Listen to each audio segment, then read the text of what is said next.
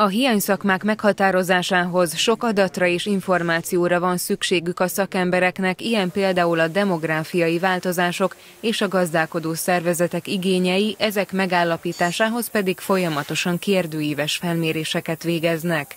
A továbbtanulás előtt álló fiatalok nagy része még mindig a divat szakmákat részesíti előnyben, nem gondolva arra, mennyivel nehezebb lesz a későbbiekben az elhelyezkedés. Pedig a szakmákban tanulók közül tanulmányi ösztöndíjra jogosultak azok, akik nappali rendszerű képzésben az első szakképesítésüket szerzik meg. A meghatározott hiányszakmáknál a tanulók tanulmányi ösztöndíjban részesülnek, ez egy nagyon fontos anyagi támogatás részükre, és hogyha valaki még ezt a szakmát tanulószerződés keretében sajátítja el, akkor havonta egy egész komoly kis fizetést tud kapni, tehát egy nehezebb anyagi helyzetben lévő családnak ez igen komoly segítséget jelent.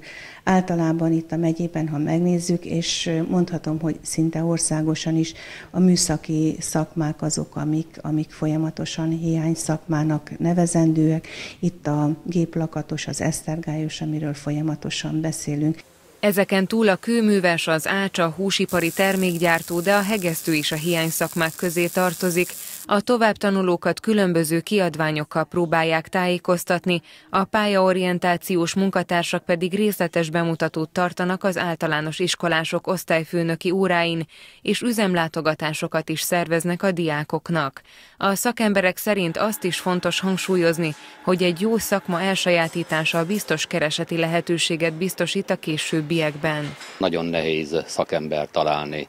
A legnehezebb a saját tapasztalatomból mondhatom, mert mi is most keresünk kőművest, ácsálványozót, burkolót, épületgépészt, ilyenkor nagyon nehéz jó szakember találni.